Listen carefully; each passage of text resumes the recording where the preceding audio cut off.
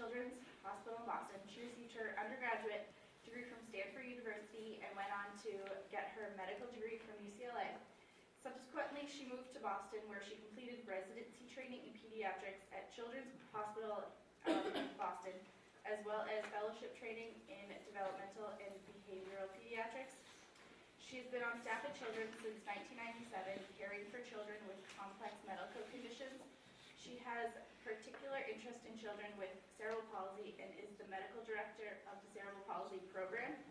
She's also very active in the American Academy of Cerebral Palsy and Developmental Medicine, where she has served as chair on the Adaptive Sports and Recreation Committee.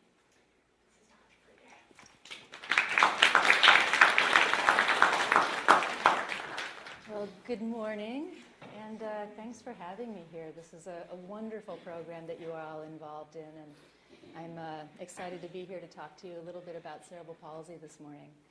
Um, just out of curiosity, um, uh, do some of you work with children in the program who have cerebral palsy, or do you have experiences with other children outside of the program with cerebral palsy? Terrific. Um, it's a pretty common uh, disorder in pediatrics, and uh, hopefully, over the course of the next 45 minutes or an hour, we'll get to dive into some details so that we can uh, increase your understanding of, of what CP is.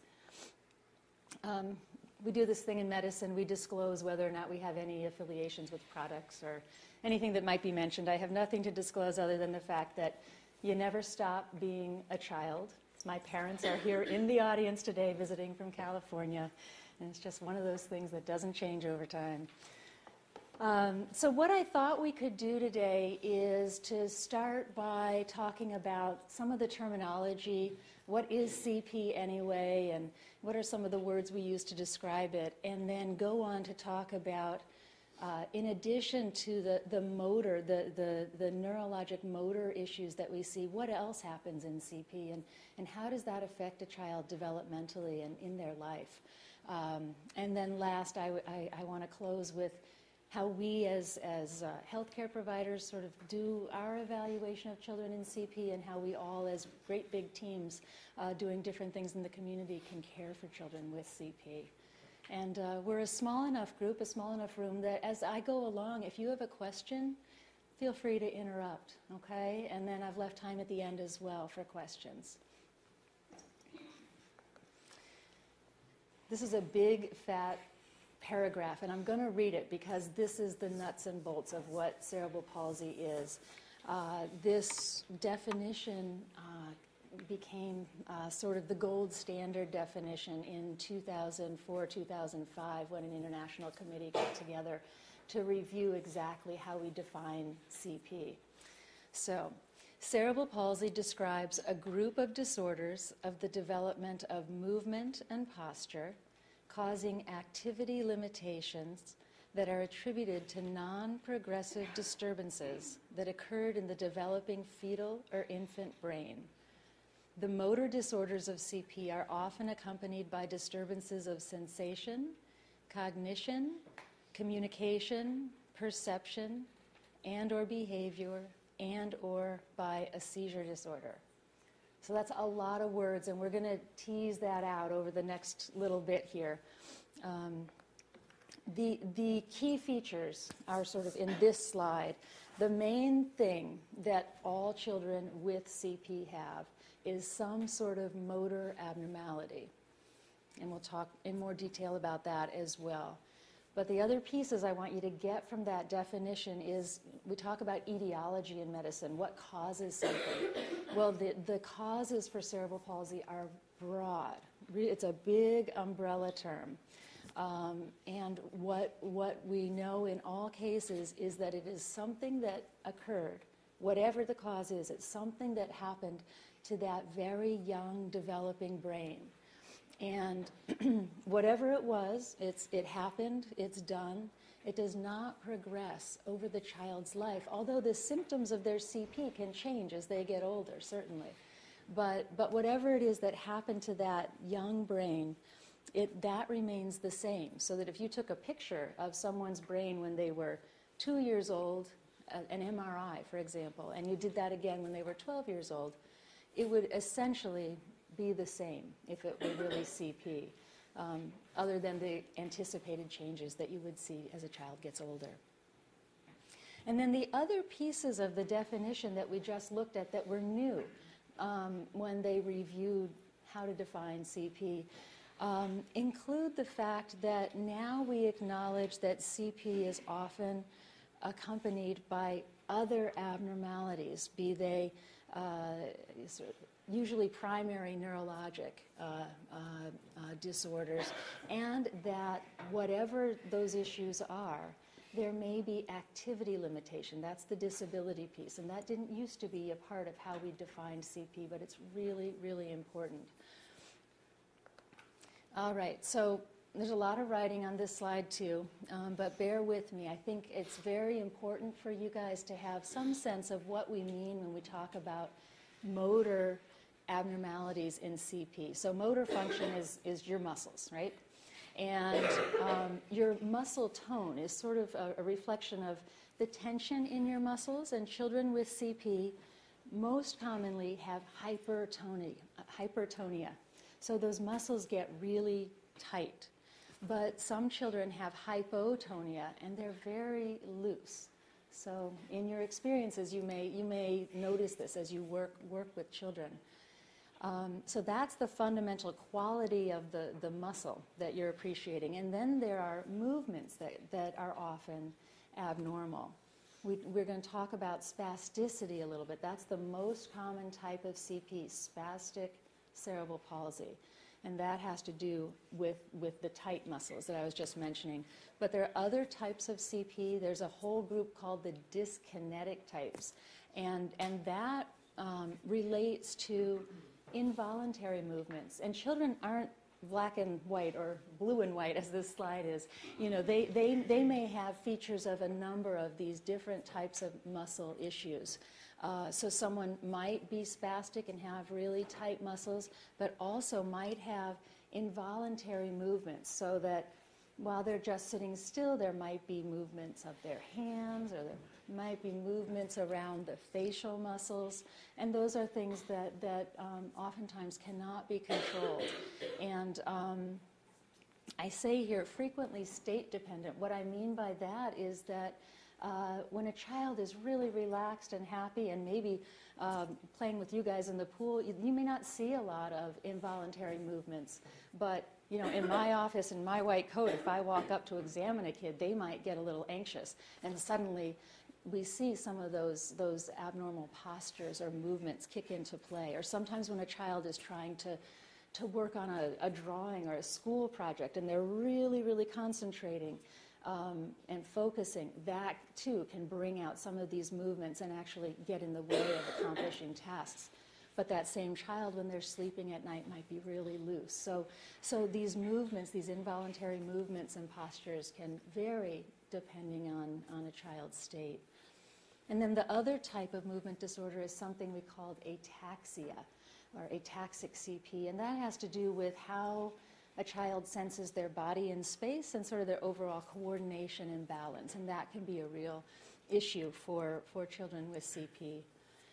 And then the other aspect of motor abnormalities that we talk about has to do with functional motor abilities. And again, this is uh, uh, the disability piece. And, you know, for some kids, they may just be a little tight in their, their heel cords, and they may need to wear braces to maintain good alignment with their feet, but they're able to run and walk and be all over the place. And their functional limitation is not significant. But for another child, uh, they may actually have a hard time controlling their arms and legs and even their trunk, and they might be in a wheelchair. So that functional piece is really variable, child to child, and depending on the type of CP.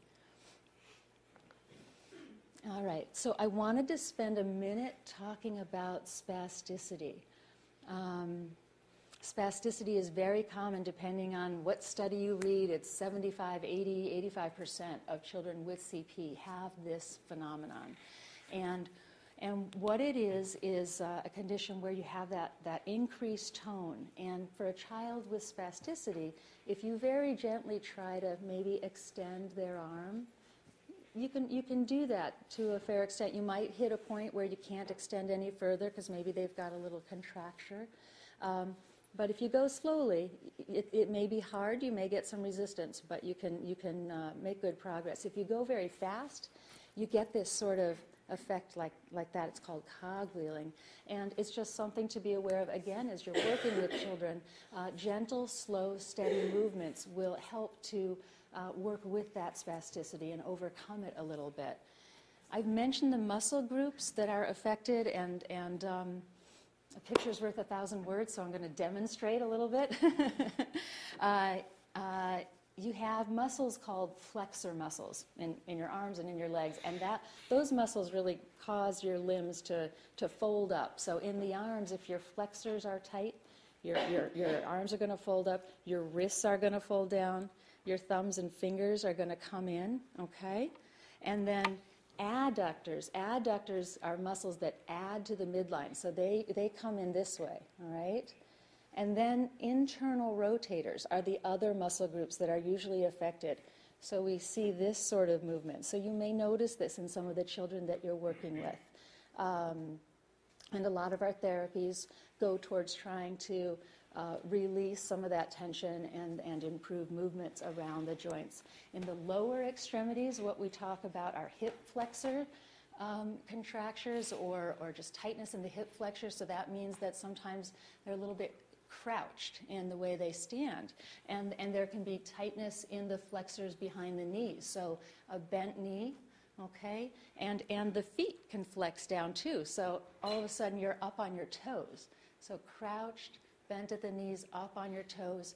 Those adductors are pulling your legs together, so what happens? You cross, right? Or you at least want to come to the midline. And your knees might rotate in because the, the internal rotators are active. So what that means, if you can imagine trying to walk, is that you know your knees want to hit, your legs want to cross, and, and you have to really pick up your hip and swing your leg around in order to, to um, walk effectively. Um, so those are the, the, that's the type of um, uh, manifestation we see of spasticity in children with CP. And um, we talk about it in terms of anatomic distribution. These are phrases that you might hear. Um, some types of CP affect the whole body and, and all four limbs, and those children have what's known as quadriplegia. All four are, are, are involved. Um, some children are affected only from the waist down, and, and their arms may be a little affected, but the primary involvement is below the waist, and so those children have diplegia. And then some children are affected on one side but not on the other, and that would be a hemiplegia. So just want you to be familiar with those terms a little bit. All right, so here is a very cute little girl. What do you notice? Anybody? What, what do you notice about the way she's standing? Her left knee is turned inward. Yep. She's on that toe. Right, exactly. So she's a little flexed. It's hard to know what sort of strength she's got in her, her torso, if she really needs that support or not. Um, but those are all really good observations. And if you remember the terms that I just threw out at you quadriplegia, diplegia, hemiplegia what kind of CP might she have, do you think? Hemi, exactly.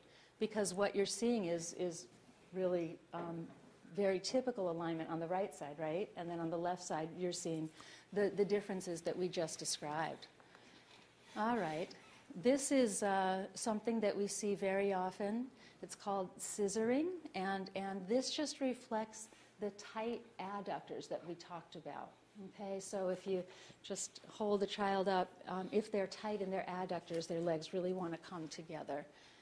And it's just a, a, a picture showing the kinds of, of um, contractures and the tightness that we oftentimes see in the hands of children who have cerebral palsy. All right. So we mentioned in the definition that CP is caused by a lot of different things.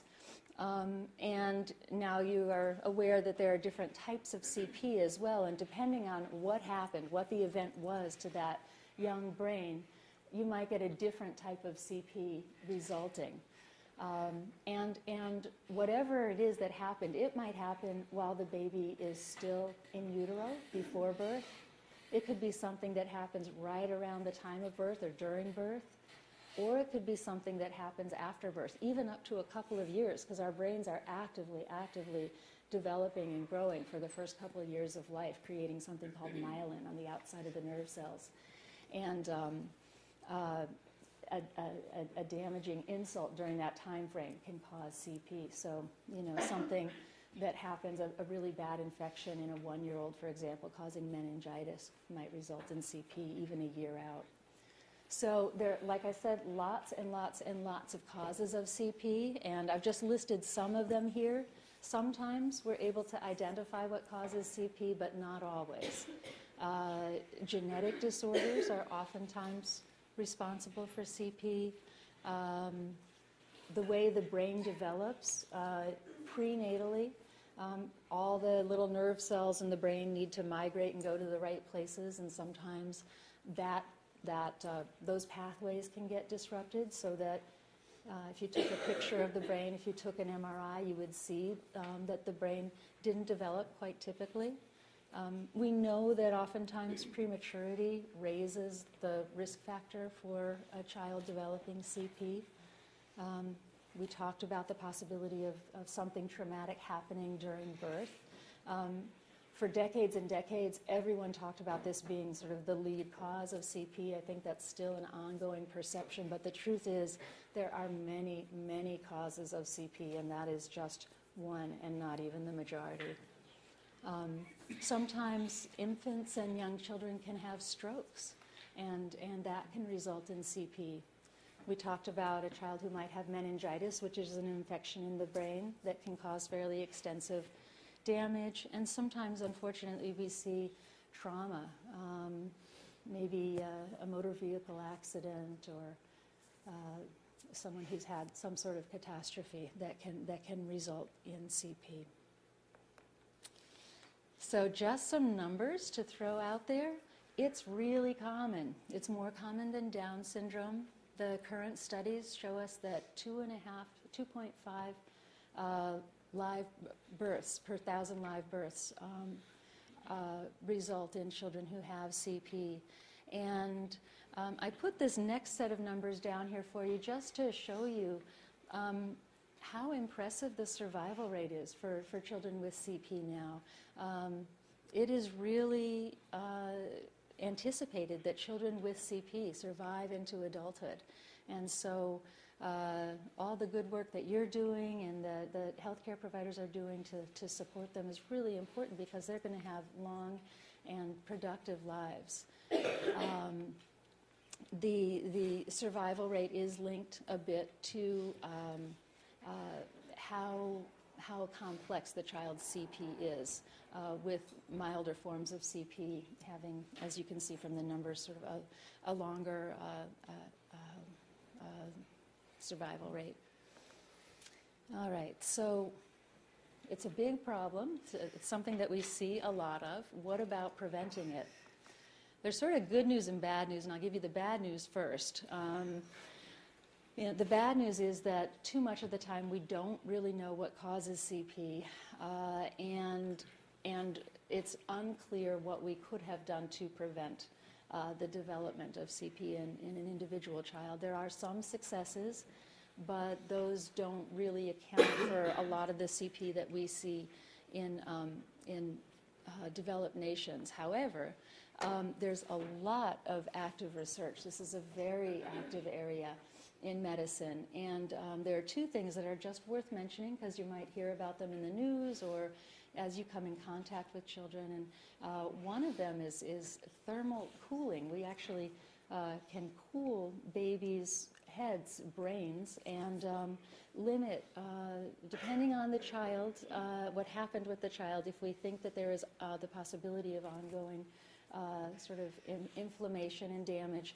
Uh, there, there are now some centers where they are actively working to, to cool down the, the temperature of the brain and body and, and see if we can prevent uh, uh, further damage. And then also, uh, you may hear about stem cell uh, transplantation, and that also is a very active area of research. It is not yet available as a therapy uh, in this country, um, and it's being looked at, but it may be a, a very significant therapy in the future. So it's an exciting time. Um, but at the same time, uh, where we are uh, in day to day life is really thinking about what children with CP need and want and how we can best support them to have the, the, um, uh, the best quality of life possible and to reach all of their, their wonderful potentials. So, anyone have any questions off the, the, the bat right here about any of the terms? We're going to leave all of that terminology and the pathophysiology and all of that. So, that clear enough? Okay. Yeah. Just kind of curious about the, um, the survival rate. Uh, You had up there, it said twenty year, four to fourteen school year. Do you Oh. find- Okay, yeah. What do you find, um, nowadays that, what's the highest age that, um, people, individuals with CP are living up to? Well, you know, it, it really, really depends on the type of CP that a child has. So, someone with very, very mild CP sh- should have a, a, a typical life expectancy. Um, the more associated medical complications that you have, the more that might affect um, those numbers that we see about long term survival. Um, so, it's very variable. Um, and, and I can't answer that with one single number, okay? Um, and just to be clear on that slide, uh, oh, there it was. That wasn't a squared, that was a footnote, just to know. And I didn't really go through the numbers with you, but, but what they looked at is they had a group of kids who, when they started, were eight, between the ages of 4 and 14, and they followed them for 20 years. So some of those kids were 24, and some of those kids were 34 at that time. But what we do know is the vast majority of kids are living at least to 30 and, and well beyond. All right, so. So I wanted to talk about the most common neurologic problems that we see in children with CP. And um, motor disorder is highlighted there in green because that's part and parcel of the definition that we've been talking about. But as you can see, there are a whole lot of other issues that come up that are a result, a direct result of whatever has happened neurologically to that developing brain. And in fact, I'm not going to go into the details right now because we're going to run through um, a lot of these because I think that you'll find them sort of relevant and hopefully interesting. Um, the first thing I want to show you, this has to do with motor development uh, in children, and it sort of looks like a complicated slide, but I'm going to walk you through it. It's really, it's really not that complicated. So um, it's what's in red are lines that, that I have um, superimposed on an original graph that's from this, this book that's noted there. So this line right here has to do with motor skill development. So here we are, we're born. We don't have a lot of voluntary motor abilities when we're born, but over time we learn how to roll over, we learn how to sit, we learn how to crawl, we learn how to walk, and it keeps going from there. And, and we also develop skills with our, our upper extremities. But right now I'm really talking about gross normal, uh, gross motor development. Um, we also, uh, when we're born, uh, uh, have something called primitive reflexes. And over time, these reflexes go away, and in some ways, they allow us to develop motor skills. So, um, uh, a primitive reflex, for example, is something called a tongue thrust. You probably have all seen babies who just they stick out their tongues, and if you try to feed a baby early on, a lot of that food ends up coming out. I don't know if all of you have had experience feeding a young child at some time in your life, but it can be a very messy experience, and that's normal. Um, but over time, uh, that reflex to stick the tongue out gets extinguished. and it allows us to progress with our eating skills. A lot of children with CP may have a persistent tongue thrust. That tongue may, may uh, take a long time to learn how to settle in the mouth and actually uh, uh, work in a coordinated way to, to uh, help develop swallowing skills.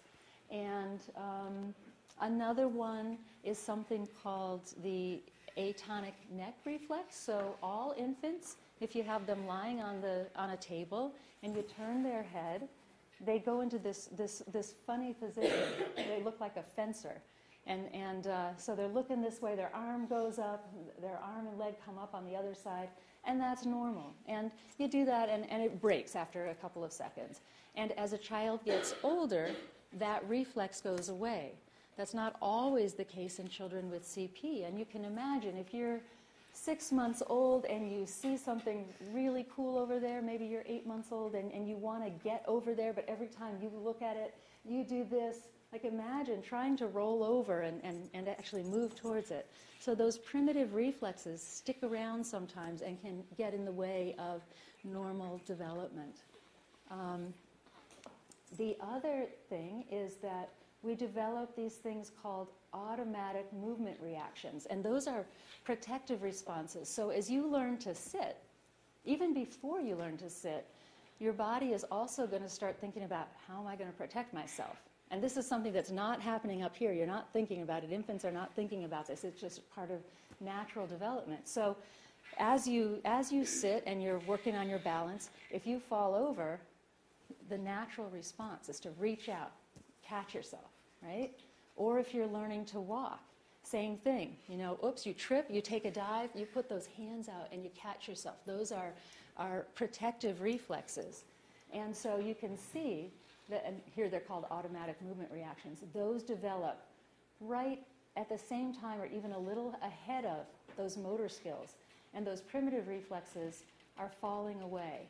So that's typical development. In the child with CP, as we talked about, sometimes those primitive reflexes, they, they may not go away or they take a long time to go away. Um, sometimes those um, automatic movements, those protective responses, they may not develop. So a child may be developing sitting skills, but every time they fall over, boom, you know, and so for, for those children, it's really important to have someone right by them, to prop them up with pillows, to have it be a safe environment. And you may, you may see some of this with the children that you're working with. Um, and then motor development, so the acquisition of all those d- developmental milestones that we were talking about the sitting, the crawling, the rolling over, the running, climbing those may be delayed too. Okay? So we just see that some of that development changes, and that relates to the primary sort of neurologic issue that has evolved uh, for the child with CP. So, some of the other neurologic issues, intellectual disability, um, uh, what has previously been called mental retardation, is, is very common. About half of children with CP have some degree of intellectual disability. And it can be very mild or it can be very profound. Again, very variable, and there's some variation on how often we see intellectual disability depending on the type of CP that a child has. And, and that can have profound effects on, on how children are able to, to process language and to problem solve, how they perceive their environment, their ability to understand uh, uh, how to take care of themselves and safety. And it also has an impact on um, social interaction. And the other thing that's important to know is learning disabilities are very, very common in, in this population of children. Um, seizure disorders are also really common, uh, not quite half of children with CP. Um, and, and seizures are sometimes very, very obvious, but not always. And seizures can make children sleepy. And sometimes when we don't appreciate that they're going on, we just sort of see that a child might be staring off into space or getting a little sleepy. And so this is something we watch for very closely. There are lots of ways to treat seizures. That's not what we're here to talk about today. Uh, but it's important just to know that this is, this is um, one of the, the common um, things that we see. Um, we also see a lot of visual problems in children with CP, almost, you know, a quarter, a third, some studies say even more than that. Um, and so when we see a child who we think has CP, we always do a vision screen. Um, and it's very, very important. It can go sort of unappreciated for a long period of time if you're not looking for it. Um, but what, what you might see yourselves as you're working with children is um, sort of a, a, a decreased response to, to visual stimulation, and you might find that um, you need to, uh, that children might be more responsive to voice or music or being touched, things like that, uh, rather than, than um, sight. Um, we see abnormal movements of the eyes. So sometimes you see something called nystagmus, which can be sort of a jerking of the eyes. Uh, sometimes we see crossing or wandering of the eyes. Sometimes children may have a, a visual field cut, so they may not appreciate things like on the left or you know things that are here below. So it's important to know that about a child you might be working with because then when you present them with new information or a new activity or a choice, you want to present it in the visual field where they can they can process the information and do something with it. Um, and we also see, you know, the usual astigmatisms and, and uh, nearsightedness and all of that. I'm bringing back this little girl again. What do you, what do you see? Last time we were focused on her muscles, but what do you see now? We're talking about vision. What's that? Yeah, so one of her eyes is, is looking directly at the camera, but the other one is, is moving in a little bit. That's something called strabismus. Okay? And hearing impairments are also really common, and we also screen for them all the time. Um, and uh, a child who's not hearing well may look like they aren't alert to the environment, they may not be engaged in activities, um, and it's important for us to, to tease out is this largely related to the fact that they don't hear well, and to do something about that. This is a big one. It's a big word, pseudobulbar palsy, but really what it means is that a lot of children with CP have um, uh, difficulty coordinating the muscles around their mouth and tongue and their throat. And that has huge developmental implications. It can mean that speech production is tough. Um, so even a child who has excellent cognition and understanding of language and has a ton to say may have a really hard time getting their message out um, through, through spoken words. Um, and it's important to recognize that and to provide them with other ways to communicate. They also may have trouble with chewing and swallowing, um, and they may be at risk for aspirating if food, food may go down the wrong pipe and can cause some chronic respiratory problems. So, so this is a big deal. And the other thing is that drooling is, is something that we see quite commonly in children who have CP. Um, and that may not be a big deal at all. For some children, it can be a problem if they aspirate their secretions or if they get rashes or if it bothers them in some way. So sometimes we treat that and sometimes not. But just for you guys to be aware that these oromotor muscles are really important for a lot of things, both medically and developmentally. And, um, and, and we do see, as you can see, 38%, 40% of children with CP have some sort of effect um, happening with those muscles. All right, we are not going to go through this list, um, except for the orthopedic piece, because that is what we see in all children with CP. But I throw it up here only because there are so many things that CP can affect. And um, you can see there are a lot of gastrointestinal issues, a lot of growth challenges in children who have CP. They may have trouble eating by mouth. Um, sometimes they get a G tube. Some of you may have seen a G tube, uh, which is a little tube that goes right into the stomach and allows us to um, safely feed a child who might have trouble chewing and swallowing. Um, there's a lot of constipation and, and reflux, acid reflux, um, that can cause a lot of discomfort uh, for children with CP a lot of um, respiratory issues, so chronic coughs and congestion for, for different reasons.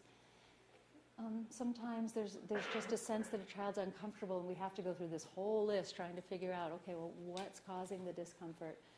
Um, osteopenia is something important to be aware of. That has to do with thin and fragile bones. Um, children who maybe don't weight bear as much as other children. Um, are at risk for developing uh, more fragile bones and therefore at risk for fractures, even without a major trauma.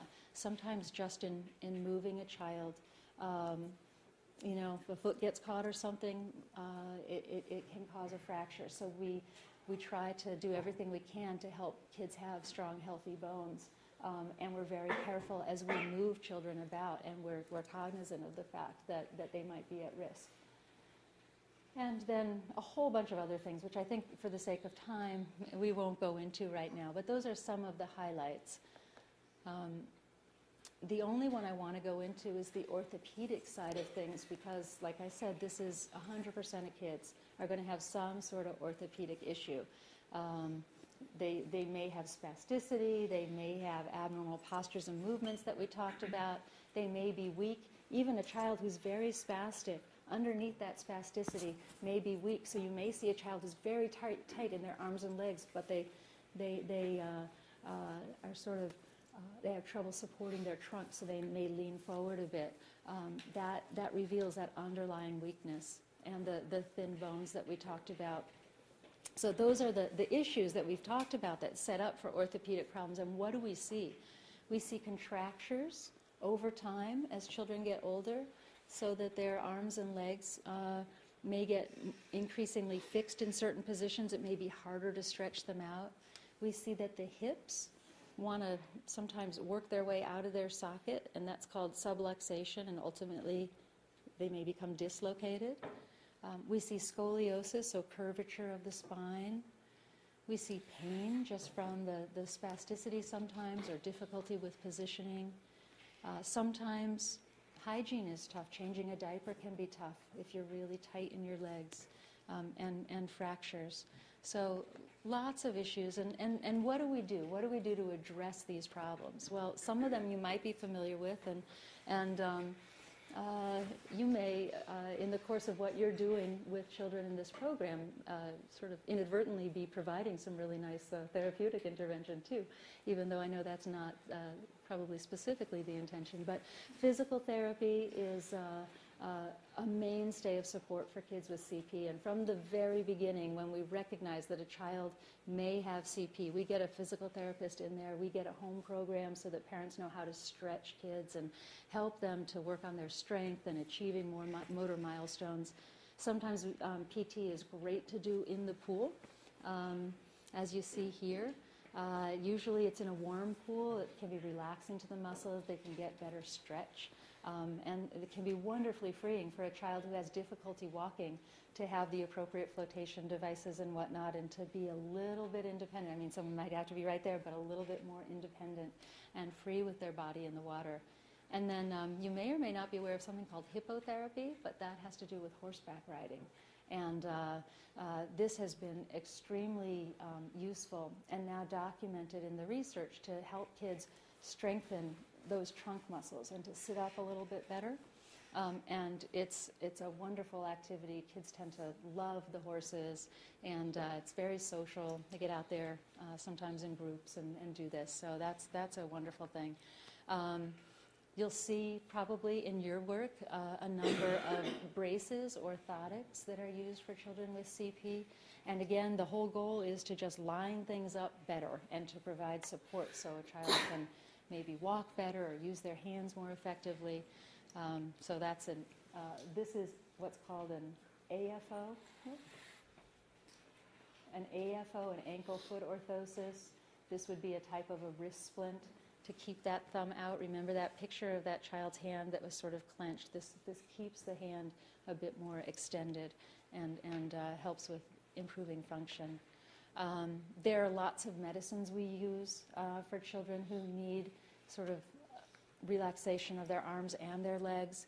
And there's something that you may stumble across called a baclofen pump. And this is actually a little, looks like a hockey puck that is uh, implanted uh, in the very superficially in the abdomen. It has a, a, catheter that runs around under the skin and into the to the spine, uh, into the spinal fluid, and it's a way of delivering medicine around the clock at a very low dose, but can be extremely helpful in terms of reducing a child's tone. And these are becoming more and more common. So you may actually, I don't know if there's anyone in the program right now that has one, but it may be something that, that uh, comes up for you.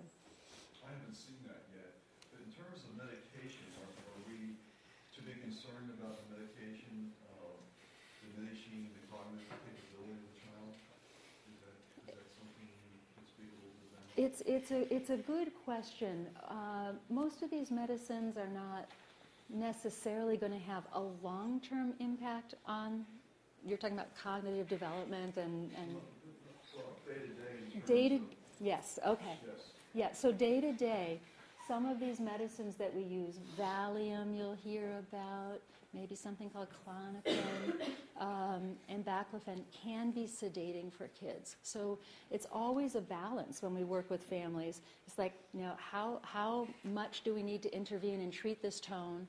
How, how sleepy are you getting? How much school are you having trouble absorbing because you're sleepy?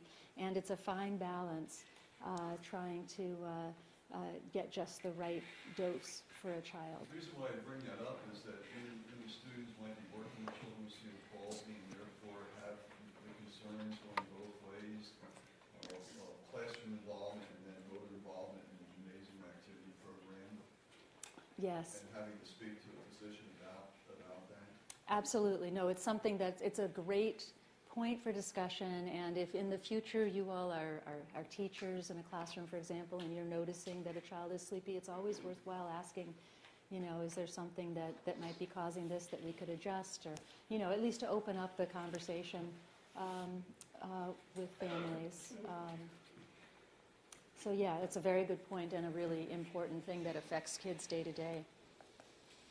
Um, the other thing, just to, to make you aware of, I know you have all heard of Botox in various uh, manner, um, but beyond wrinkles, uh, we use it a lot in terms of uh, uh, reducing the tone in, in important muscles that are very tight, and sometimes it can help a child to relax for a number of months, and then they go back for another treatment. We also use something called phenol, which acts directly on the nerves.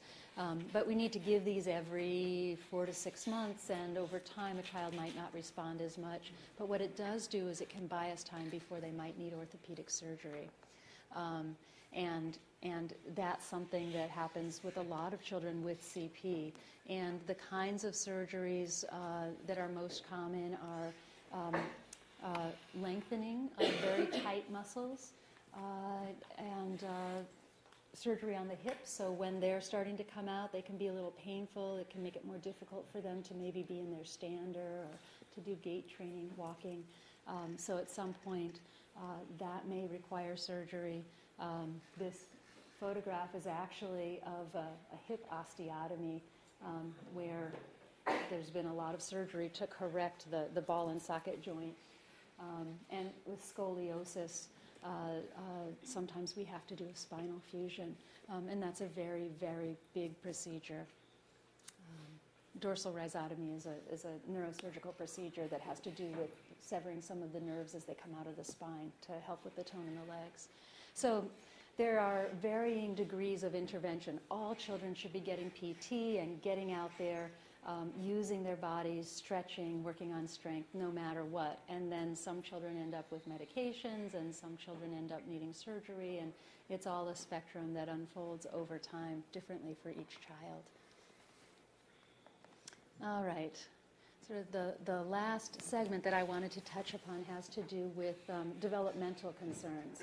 So we've talked about a lot of different issues that arise in children with CP. But the fundamental problem is, is a neurologic one. And that gives rise, as we've talked about a number of times now, to a motor problem. But what does that mean? So the motor problem then may mean that a child has trouble eating independently or effectively or fast, uh, might have trouble getting dressed, again, independently or fast, uh, may have trouble getting around, walking independently, uh, may have trouble participating in school, playing with peers. It goes on and on. Um, taking care of personal hygiene, you know, you may need assistance doing that. So, so that motor control problem can have huge ramifications in terms of the motor development and uh, um, uh, abilities. And then that neurologic lesion may cause cognitive changes that we talked about, intellectual disability and learning disorders, and it may have a direct impact on communication. And all of those things then, which are very functional, translate into very real issues around a child's autonomy. How independent are, are they? How much privacy do they get? Um, it can have an effect on a child's mood, um, how, they, how they feel about themselves, how they interact with peers, and uh, ultimately really affects overall quality of life. And that's what we really need to focus on. Um, we need to focus on every aspect of this sort of chain of events. But um, uh, I think this just sort of pulls all of those issues that we've been talking about together and uh, addresses how CP uh, manifests itself in real life for children. So just to, to, to bring that point home, let's think about communication. So um, what are some of the things that we've talked about that affect a child's ability simply to communicate with people around them? Well, in terms of expressive skills, how they're able to speak, that motor disability may affect how they can form words. They may have difficulty taking a deep breath, so breath control, just getting the words out, may alter the quality of their voice. The, the pseudobulbar palsy that we talked about with those oromotor muscles being affected can definitely affect speech, and some children with CP have differences in their facial structure. So lots of these medical and neurological things feed into a child's challenges with expressive language. And in terms of how they process language, you know, are they having seizures? Do they have trouble focusing? There are many neurologic issues that may feed into how they process language coming at them. And then there are a number of things which affect both how you process language and how you produce language, um, having to do with uh, intellectual ability. Are you sleepy all the time because you have you're uncomfortable and, and uh, you don't sleep through the night? Um, do you have hearing or vision impairment? Um, are you depressed? Um, and are you uncomfortable? All these things play in together, and what, what happens is that it can affect very basic interactions. So the bottom line is that um, CP can affect virtually any system in the body and have an impact on development and, and daily life. And the other thing is that a lot of times there's an impact not only on the child but also on the family that's really important for us to be aware of. Um, a lot of times, you know, the future is sort of uncertain. Uh, of course, parents and family members want to know what's going to happen, and we don't have crystal balls, and, and children surprise us all the time and do things that we might not have predicted, and so it, it's hard to, to be clear and concrete with families sometimes about the future. Um, families end up being involved with lots of different agencies, lots of different healthcare providers. They're making lots of appointments. They have to coordinate these schedules. People are coming in and out of their houses, maybe therapists or, or nurses. Uh, there's no privacy. A lot of times, because this can be sort of overwhelming, one parent might give up a job, and then there's financial hardship. Plus, having CP can be expensive. Yes, there are insurance programs out there. Massachusetts is actually great in terms of a lot of what is offered to children. Nonetheless, um, uh, there can be real issues in terms of purchasing much needed and valued equipment for a child, for example, or therapies that would be helpful. And so families end up being pretty tired, and the stress level can, can mount, and there's not always good access to um, as many community programs as we'd like to see. So just important to remember the child happens in the context of a family and that this, this uh, can be challenging in many ways. Um, so what, what do we do? What can we all do? Well, as a healthcare provider, there are certain medical things that we know we need to do if we see a child with CP. We always want to know what the brain looks like. We always want to know how is a child hearing, how is a child seeing. So those basic things we always do, and then other things we do just depending on the child themselves. Um, regardless of what the diagnosis is, if we're sure it's CP, if we're not sure it's CP, if we see a child who is starting to lag behind in terms of their developmental milestones, we're going to start pulling together services for that child. And over time, we watch them very closely and we try to be super smart about all the things that we've just been talking about, all of these complications, so that we can anticipate them and prepare for them and screen for them. And we work with lots of other subspecialists and whatnot. Um, and again, just keep plugging away with services. So, um, uh, have, have, has the group been exposed to, say, early intervention and special education? Uh, Well, it depends upon the major Ah, and okay. what, what those majors offer them. There's twelve different majors that, that sit here this morning. okay, all right. Uh, certainly people who've studied with me are very familiar with that, others would, would vary. Okay. So just, I, I guess one word uh, towards this end is that uh, uh, uh, at a federal level, there is funding available for children up to the age of three to receive specialized services if they're indicated. So that could be physical therapy, that can be general developmental stimulation, and this is rendered through a program called Early Intervention. And um, uh, usually therapists come out to a child's home and work one-on-one with them once a week, twice a week. It varies depending on the child's needs. And as they get to be two years old or so, they oftentimes also offer like a play group in the community for the child. And then at the magic age of three, services change from early intervention to the public school system. And then there are support services available for children from the ages of three up to 22. Um, and uh, beyond uh, strict education, um, again, therapeutic interventions, whether that's physical therapy or vision therapy or what have you. So um, a child is eligible for an evaluation to see what they might need, and then the, the local school system will provide those services or figure out the best mechanism to do that. So you can imagine that children with CP develop this very extensive team of people involved in their care. And yes, you know, at the hub of it, we're looking at their health and trying to maintain the healthiest baseline possible. But we're working with all of these other groups as well. Um, and you guys fall into, uh, will fall into various of these categories down the line. Um, so there's a lot of communication with teachers, for example, and, and therapists and people in, in mental health. Um, just lots and lots of community sort of pulling together as a team. And um, I just wanted to end with a, acknowledgement that recreation is incredibly important in all of this. Um, and probably I'm remiss in not having a, a recreation bullet right here. Um, uh, getting a child out into the community, getting them active is so important, and what you're doing is fantastic, really and truly.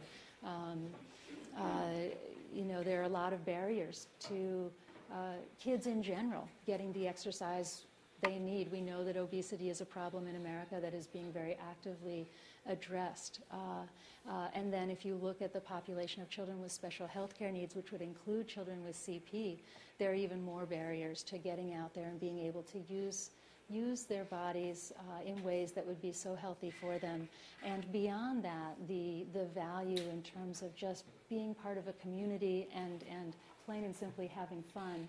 Uh, and and uh, in the case of your program, bonding with a mentor um, is just phenomenal. So, so uh, it's terrific that you're involved, and it's a really important piece of, uh, of uh, supporting children with CP and, and special health care needs. I myself am involved, uh, very involved in a, a research group up at Children's Hospital that, that does some similar work to you all, um, uh, uh, and, and it's terrific.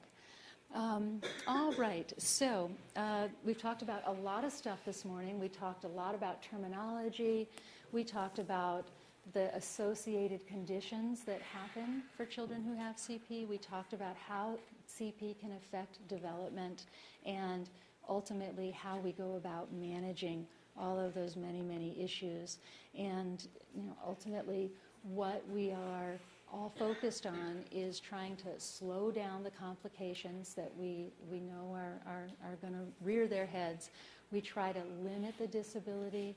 We try to improve overall function and ability and maximize a child's autonomy and ability to participate to the fullest of their ability. So that is it. That's my email. If uh, anyone ever needs to get in touch, please feel free. But thank you very much.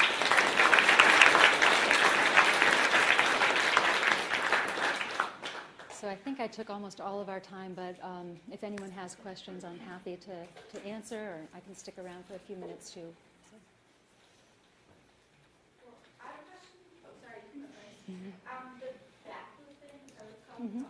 um, uh, in the summer I work at Mass Hospital, Mass Hospital School, ooh, uh, but, um, one girl actually got it, but it didn't really work for her, cause, um, she, more of her tones in her upper body, I didn't know, like, cause the, um, the parent said it may not work, because it's more for the lower body, I didn't know, like, if, cause it was in the spinal cord. it was, Right.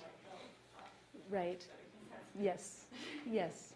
That's exactly right. Baclofen pumps are most effective and helpful for children who are super tight in their lower extremities, who are having a hard time sitting well, like in their wheelchair, um, who are having trouble with transfers, things like that, um, having trouble getting dressed and whatnot, but it's lower extremity.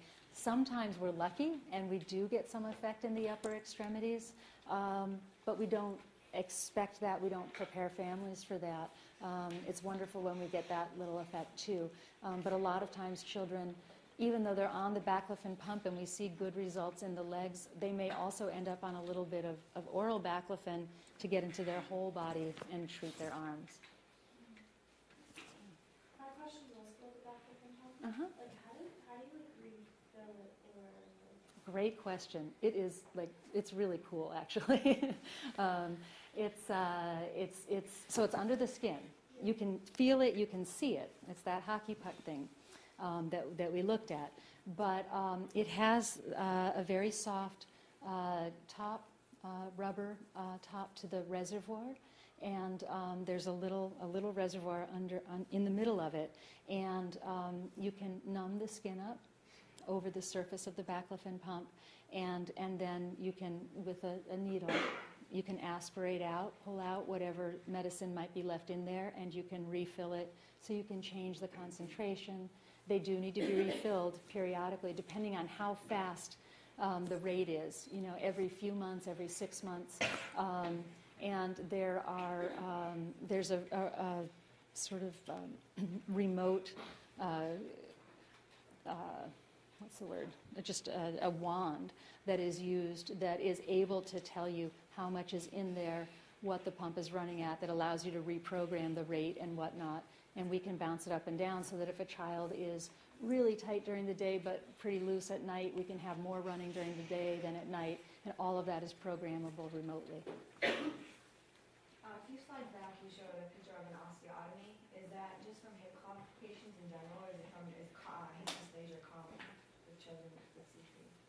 We see, we see evolving hip dysplasia in children with CP. So over time, um, we can see changes happen to the, the hip socket, um, and, and we see that the head start to slip out. And so depending on the extensive nature of the problem, sometimes, you know, they don't need to do the whole uh, acetabulum, the whole covering of the ball and socket joint, and they can do more work on the femur, but there, there are all sorts of variations on that surgery depending on the extent of the involvement. Is there any type of um, prenatal testing you could do to see if your child has CP? Or No. is that It's, it's not available, and part of the issue is it's not one entity. So there are certain known, say, genetic syndromes, genetic disorders that are associated with CP, and a child, uh, a, a, a woman might be undergoing evaluation prenatally because someone suspects there might be a genetic problem, and so you can sort of uh, uh, suppose that there might be trouble with CP for that child as well. And so you might be able to diagnose a specific genetic disorder depending on what you pick up prenatally. But in terms of just a universal test for CP, there just isn't one. It's too variable. This is our last question. Go ahead. Um, when my brother was born, he was diagnosed with CP, and then your lawyer later told it's Angelman syndrome. Do you see a lot of kids like that who have Angelman syndrome and not CP? Yeah, well, it's an interesting question. It gets to how do you, you know, what do you what do you call it sometimes? Um, and if we can identify that there's a genetic disorder that has a name, um, that becomes sort of the unifying diagnosis, if you will. So a child might have Angelman syndrome. Um, but in the setting of a genetic disorder, you can still have CP. So that can be, they can both be true. And um, uh, it just depends on which term you lead with. Uh, but usually, if we're able to identify a particular syndrome, uh, that then becomes the lead term, and the CP is associated with it. But, it, but it's a lot of words. I mean, they're- can both be true. All right. I'm gonna turn it back to Sam for enclosures again. Thank you. We would like to offer you this thank you Oh, for coming in today. thank you. Oh, that is awesome.